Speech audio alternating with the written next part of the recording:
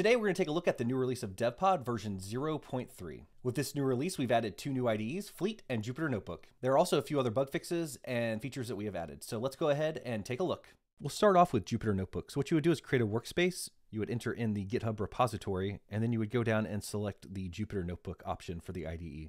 Let's go ahead and create that workspace, see what happens. Since we're using the Docker provider with this, what it's going to go ahead and do is get that container set up for us and start it within Docker.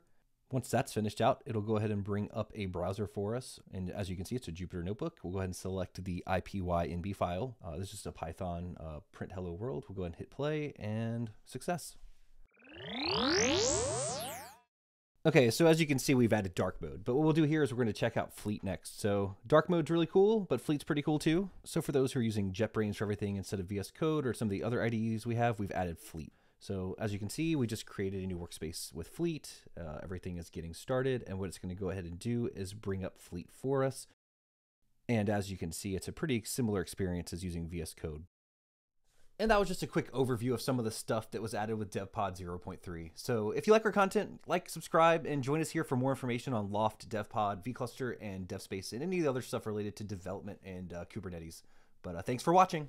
Bye.